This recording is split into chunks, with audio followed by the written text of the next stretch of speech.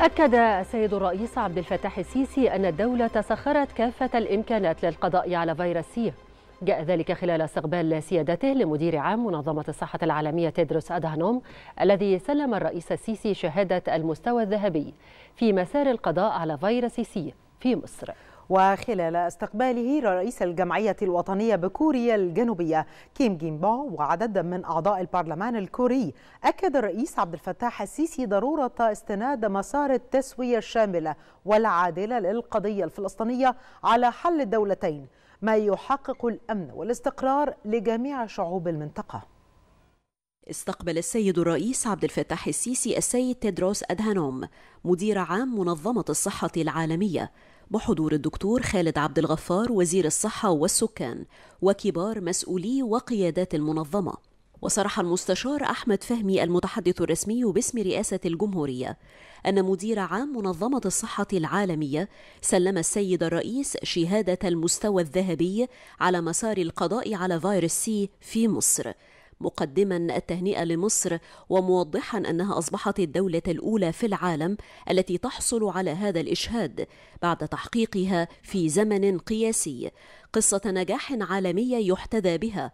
في التحول من كونها أعلى الدول من حيث ارتفاع معدلات الإصابة بفيروس سي إلى أول دولة في العالم تصل لهذا المستوى المتميز في القضاء على الفيروس.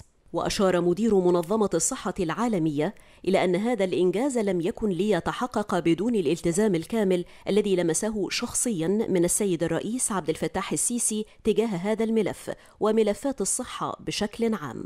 وهو ما تبدى في المتابعة الشخصية الدقيقة من السيد الرئيس للتخطيط السليم والعمل الجدي الذي قامت به المنظومة الصحية في مصر في هذا الصدد من خلال المبادرة الرئاسية للقضاء على فيروس سي. وذكر المتحدث الرسمي أن السيد الرئيس توجه بالشكر إلى منظمة الصحة العالمية ومديرها العام على الدعم المخلص الذي قدمته المنظمة لمصر معربا عن سعادته البالغة بتحسن صحة المواطنين المصريين فيما يتعلق بهذا المرض الذي طالما شكل أزمة مزمنة في الصحة المصرية ومشيرا إلى أن الدولة سخرت بصدق كافة الإمكانات لتحقيق الهدف المنشود بالقضاء على فيروس سي.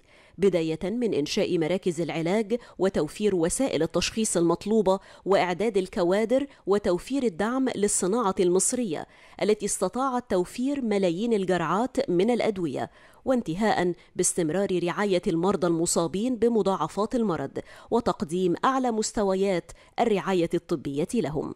وأوضح المتحدث باسم رئاسة الجمهورية أن اللقاء شهد كذلك التباحث حول آفاق التعاون بين مصر ومنظمة الصحة العالمية في العديد من الموضوعات لا سيما تعزيز جهود الدولة لدعم الصحة العامة في مصر وخاصة من خلال المبادرات الرئاسية ذات الصلة تحت مظلة 100 مليون صحة وتطوير هذه المبادرات في مختلف القطاعات الصحية لتصل إلى ملايين المواطنين في جميع أنحاء. مصر. كما استقبل السيد الرئيس عبد الفتاح السيسي السيد كيم جين بيو رئيس الجمعية الوطنية بكوريا الجنوبية.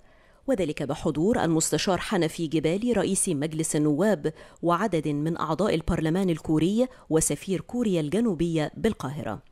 اللقاء شهد تأكيد الاعتزاز المتبادل بالروابط الوثيقة التي تجمع بين البلدين الصديقين والإشادة بالتطور الذي شهدته العلاقات الثنائية خلال الفترة الأخيرة لا سيما على الصعيد البرلماني مع الإعراب عن التطلع لمواصلة استكشاف آفاق تطوير العلاقات خاصة فيما يتعلق بالتعاون الاقتصادي المشترك.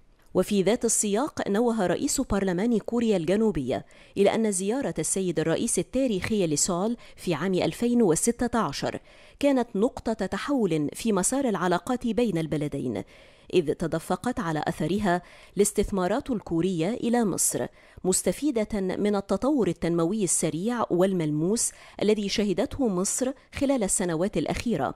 كما تم التباحث حول تعزيز أطر التعاون الثنائي المشترك في عدة قطاعات لا سيما على الصعيد البرلماني.